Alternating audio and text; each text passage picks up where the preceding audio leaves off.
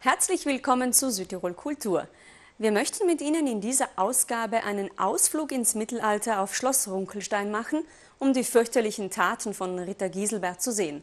Anschließend verzaubert sie der Chor Mix Melodium mit spirituellen Klängen aus der Welt des Gospels. Mittelalterliches Flair im romantischen Innenhof von Schloss Runkelstein mit Theater, Speis und Trank. Bereits zum fünften Mal wagt sich im heurigen Sommer der furchtlose Ritter Giselbert, der fiktive Schlossherr von Runkelstein, auf eine abenteuerliche und unterhaltsame Reise. Die Freilichtspiele Bozen präsentieren das Stück O Gott Giselberts.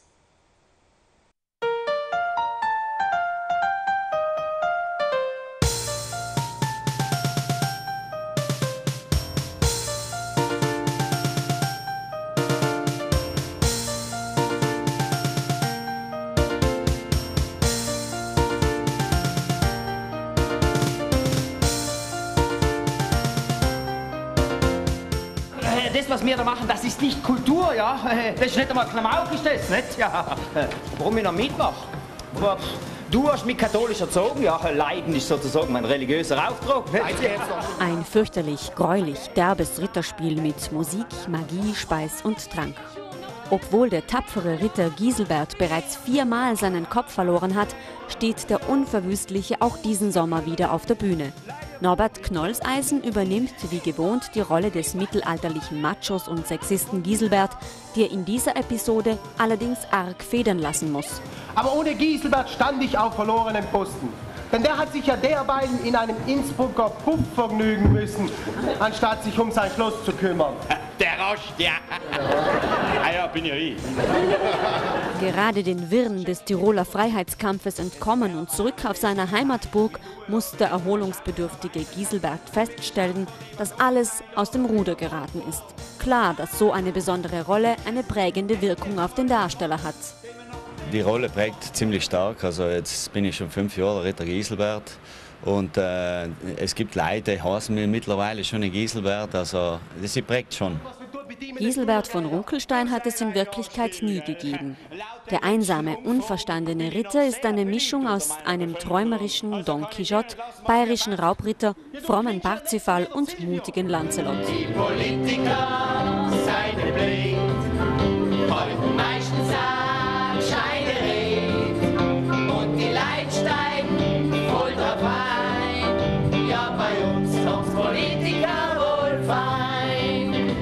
Heuer hat sich Autor Erwin Ecker richtig ins Zeug gelegt. Viele begeisterte Zuschauer lobten die lustigen Abenteuer des furchtlosen Ritters. Manche Ideen kommen spontan beim Kaffee trinken in der Früh, beim Aufstehen oder, oder irgendwelche komischen Situationen. Andere kommen beim Schreiben. Also ich stelle mir eine Situation vor und dann entwickeln sich da die, die, die Geschichten von selber oder durch die Dialoge, was der eine sagt, kommt, kommt die Geschichte aus. Also es sind unterschiedliche Methoden. Wo, wo sind jetzt die Waggon nach Rom? Du capisci? Giselbert ist ein Artefakt aus Vergangenheit, Gegenwart und Zukunft. Obwohl die Handlung eigentlich im Mittelalter spielt, wurden viele aktuelle Themen in die Geschichte mit eingepackt. Du, was wird das, wenn es fertig ist? Ha? Was tust du da auf der Bühne? Gehst du nicht da hinten rum hinter deinem Klimperkasten? Ha? Ja, kein Strom. Kein was? Äh, kein Strom, kein Saft. Verstehst du mich? Kein Saft? Sell. Ah, Sell. Ja, da habe ich auch schon lange danach gesucht. Ja. Nein, nicht Sell, ja, Etschwerke. Ja, und bei dem funktioniert normalerweise alles ganz reibungslos. Ja. Jawohl, ja. Ja, vielleicht abgesehen von ein paar kleinen Abrechnungen, aber wie einen Zoff gibt es ja überall, nicht? Etschwerke. Das was die heutige Jugend für Ausdrücke hat. Ja? Ja. Also das ist halt einmal mein Schnaps. Er soll von mir aus einen Tee trinken. Irgendwann wird es eh nicht mehr Sell geben. Hm? Hier ist Sellwurst. Wir halten uns an keine Regeln. Also ähm, wir lassen den Ritter einfach durch die Zeit springen, wenn es notwendig ist, wenn es uns Spaß macht. Und das ist ja gerade das Dankbare an, dem, äh, an der Figur, dass man, dass man mit der auch spielen kann, dass man der in die heutige Zeit kurzzeitig transportieren kann und es macht einfach Spaß, weil wenn wir jetzt halb im Mittelalter bleiben, dann waren auch die Möglichkeiten ein bisschen begrenzt. Mein Anliegen ist es auch, einfach auch die Lokalbezüge, das Aktuelle einzubauen. Ich möchte es ein bisschen kabarettistisch machen und äh, vor allem politisch auch. Und Zell geht halt leider, wenn man es auch wirklich in die heutige Zeit transportiert zwischendrin. Also er kommt ja wieder zurück in seine Rolle als Ritter, aber er Trost halt aushalten wieder. Du, vielleicht ist ja leider Steger nicht mehr drin. Ja, was, das soll ja, das soll ja inkompatibel sein. Da, da hört man so Sachen. Vielleicht ist für ihn zu heiß geworden. Nein, nein, du. Die Stocker habe ich schon kontrolliert, ja. Den kriegst du nicht so leicht raus. Ich schaue alleweil, ob es am Leitner liegt, ja. Weil der ist ja bekannt für seine Kurzschlüsse. Ja, notfalls holst du doch halt beim Bichler eine neue Rolle. Sei, sei geht nicht, weil die Sam sind viel zu dick und außerdem zu leicht tot zu sein. Ah ja. Weißt du was, noch gestern deiner, der soll da auch immer lange Leitung. Wenn man denkt, das ist ein Eisdiele. Das war ja letztes Jahr. Ja, geil, Die Musik des Stückes stammt aus der Feder von Steffen Jürgens. Der choreografische Part von Katrin Hirber, die gemeinsam mit Ingemar Vienna auch die Liedtexte verfasst hat. Wir banschen den Wein aus Wasser und Traum und lassen die Polen die Äpfel klauen.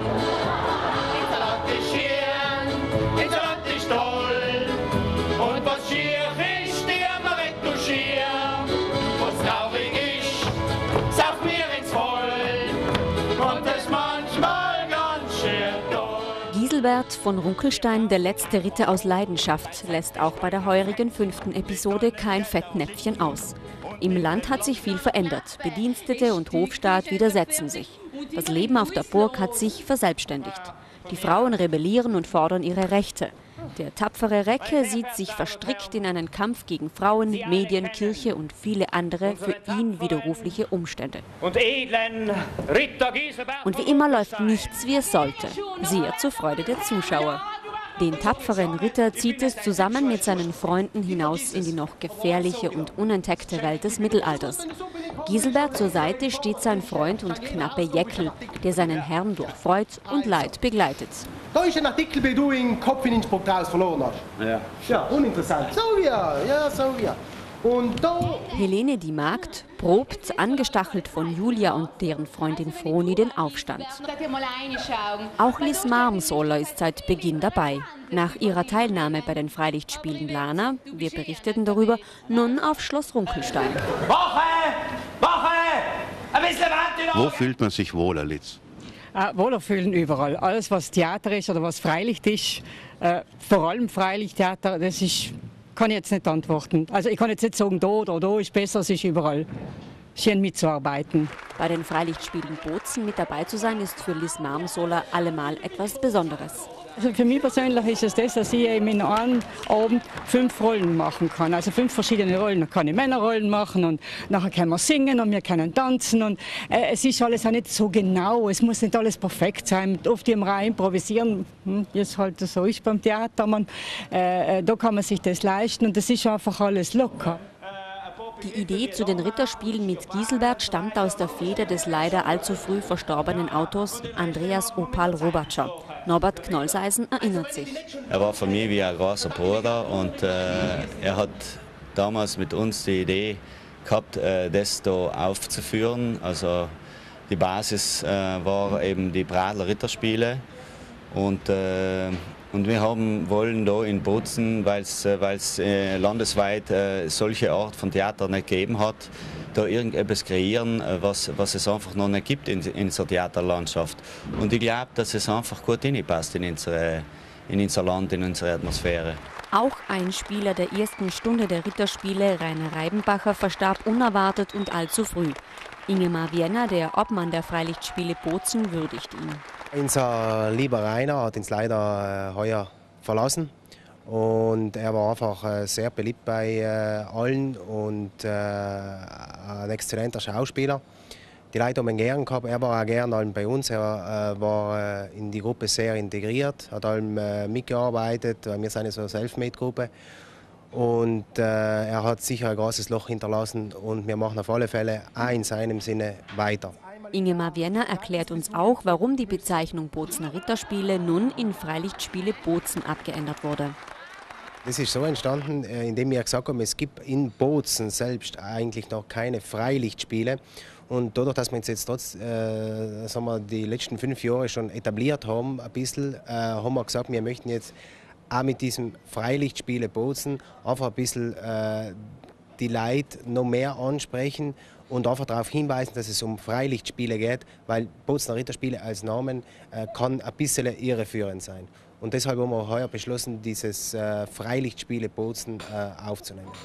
Bei den Freilichtspielen Bozen mit dabei ist auch Wolfgang Gruber in der Rolle des nörgelnden Musikers.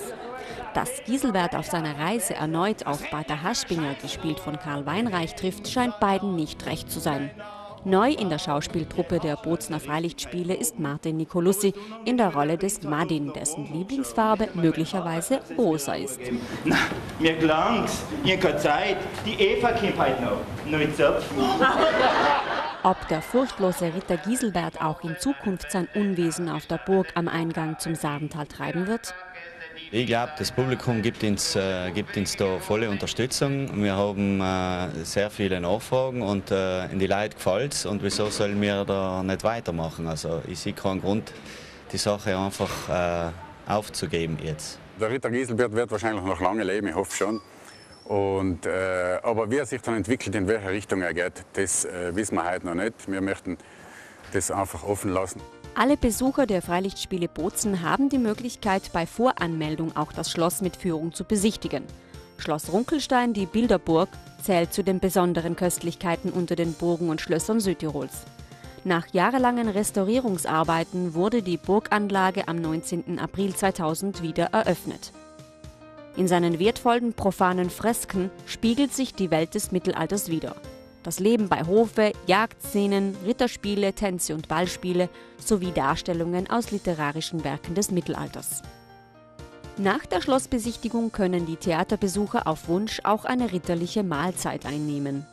Schlosskoch Roland Matt kocht eigens für die Freilichtspiele Bozen ein ganz besonders schmackhaftes Rittermenü.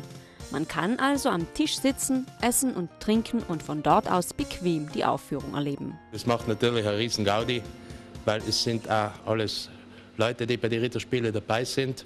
Dort haben sich jetzt große Freundschaften entwickelt und es macht einen riesen Spaß. Wir sind eine große Familie und äh, deshalb sind auch noch so viele Schauspieler von der ersten Stunde an dabei, weil es eben für alle Spaß macht, nicht nur für die Zuschauer, sondern für uns selbst auch. Ist es Ihrer Meinung nach eine Bereicherung für die Burgschenke und für das Schloss, wenn diese Ritterspiele aufgeführt werden? Ja, auf alle Fälle ist es eine Bereicherung. Erstens einmal werden ziemlich viele Leute, die sonst nicht herkommen würden, kommen her. Zweitens ist für uns auch gut, dass so viele Leute dann essen. Es essen doch fast zwei Drittel, wenn nicht mehr, von den Besuchern, die das äh, Theater anschauen, die essen vorher. Und normalerweise schmeckt es ihnen auch und das macht Spaß. Das ist auch für uns gut. Wir kommen nun endlich zu dem von Ihnen und von mir so lange ersehnten Höhepunkt unserer Geschichte, zur Köpfung des Ritter Giselbert von Ruckelstein. Ja. Julia, bitte Musik. Dankeschön. Wer gerne wissen möchte, aus welchem Grund Ritter Giselbert auch im heurigen Jahr wieder seinen Kopf verliert, der sollte sich einen vergnüglichen und unvergesslichen Theaterabend auf Schloss Runkelstein besser nicht entgehen lassen. Rita Giselbert macht sich im heurigen Sommer noch siebenmal auf die Suche nach neuen Abenteuern. Eine Statue haben Sie mir versprochen für meine Heldentaten. Heldentaten wollen, dass Sie nicht lacht. Mittelalterliches Flair bei Speis und Trank und dem Stück O Gott Giselbert gibt es noch bis Anfang September auf Schloss Runkelstein. Ja, stimmt.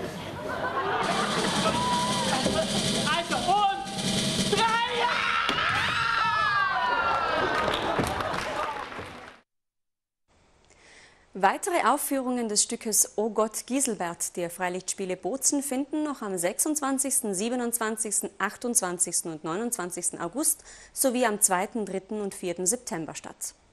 Mix Melodium ist ein Chor, der seinem Namen mehr als gerecht ist. Neben den bekanntesten Trickfilm-Hits hat er sich auch bereits in die Liga des Jazz und Blues gewagt.